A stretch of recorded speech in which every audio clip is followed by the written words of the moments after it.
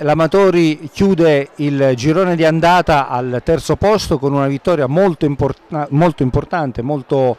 bella, una partita molto bella, determinata contro un avversario di eh, rango, ecco, almeno che reputate di rango superiore. Qual è stato diciamo, l'arma vincente di oggi? Forse ci ripetiamo. No, l'arma vincente secondo me è il collettivo e la qualità di questi ragazzi, la voglia di stare insieme, la voglia di passarsi la palla, la voglia di soffrire la voglia di, di, di provare ad emergere su, in un campionato dove i valori probabilmente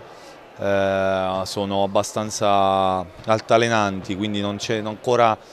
eh, tranne Agropoli forse le altre stanno lì e quindi la cosa importante era secondo me giocare una partita di impatto, di, di sostanza perché quelle che ci stavano davanti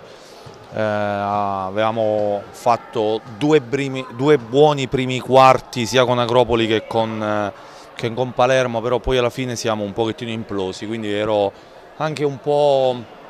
curioso di vedere che tipo di partita riuscivamo a fare contro Bisceglie che oggettivamente è una squadra importante, ero abbastanza curioso e devo essere contento sicuramente ma devo fare i complimenti a questi ragazzi perché hanno un cuore grandissimo, una voglia di vincere, una voglia di stare insieme che secondo me è superlativa. Quindi è il gruppo, la, la, diciamo, la forza del gruppo la caratteristica principale di questi amatori che, ripeto, chiude al terzo posto assoluto alla fine del girone di andata. È la capacità veramente, la voglia di stare insieme che hanno che secondo me